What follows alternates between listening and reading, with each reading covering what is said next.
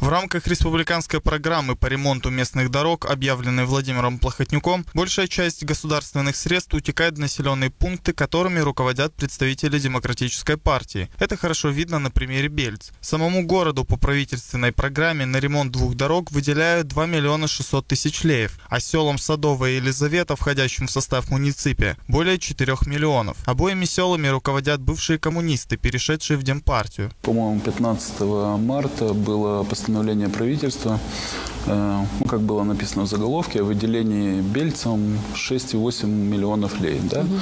Из этих 6,8 миллионов лей 2,6 миллиона было выделено бельцам, 2,7 миллиона было выделено Елизаветовке и полтора миллиона было выделено Садовому.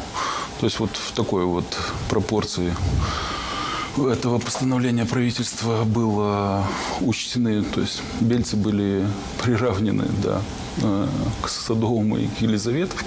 Деньги для Бельц выделены целенаправленно на ремонт бульвара Минеску и другой улицы, пока не названной демократами. Однако стратегии госпрограммы не сочли нужным изучить состояние объектов, на которые будут истрачены средства налогоплательщиков. Например, бульвар Минеску не ремонтировался ни разу с момента его строительства в советское время. По сути, никакого бульвара там уже давно нет. Это типичная проселочная дорога с отсутствующей ливневой канализацией. Даже за 2,6 миллиона, которые будут предоставлены стороны, там можно сделать разве что недолговременный косметический ремонт, эффект от которого продлится до следующего сезона дождей. Но даже эти средства выделены не только на бульвары Минеску. По большому счету, демократическая партия ради саморекламы просто зарывает госсредства в землю. 2,6 миллиона уже потом в комментариях было написано, что они пойдут на ремонт двух улиц, в частности, даже был назван бульвар Еминеску.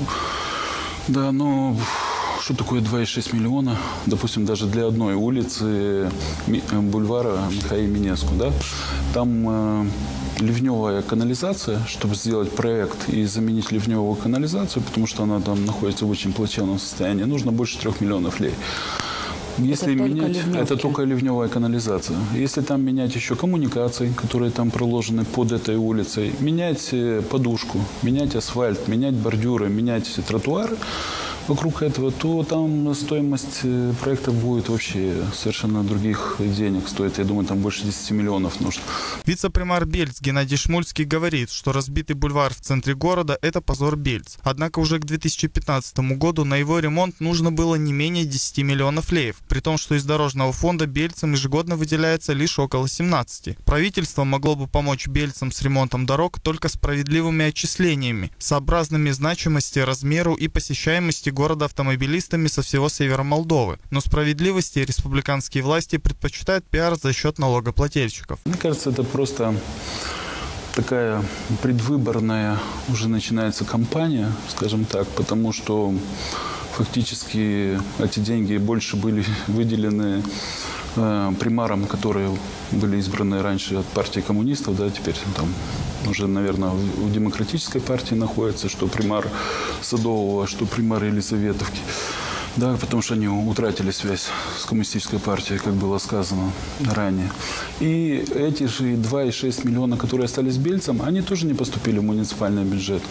Они так, были направлены, ну, бельцам выделены, но они пошли государственному предприятию Друм Ребелс, да, которая сейчас возглавляет Разве это предприятие Чела. занимается дорогами внутренними в городе?